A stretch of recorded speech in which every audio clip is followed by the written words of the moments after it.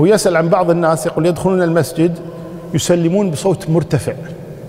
وهذا خطأ خطأ. أن الإنسان يرفع صوته بالسلام خطأ. في ناس تصلي في ناس تقرأ في ناس تدعو.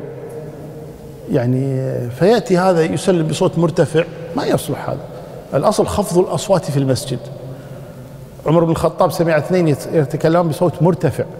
في مسجد النبي صلى الله عليه وسلم قال من أين؟ قال من الطائف. قال قد علمت أنكما لستما من أهل المدينة ولو كنتما من أهل المدينة لأوجعتكما ضربا. يقول عمر بن الخطاب رضي الله عنه. فالقصد أن المسجد الأصل فيه خفض الصوت حتى بالسلام.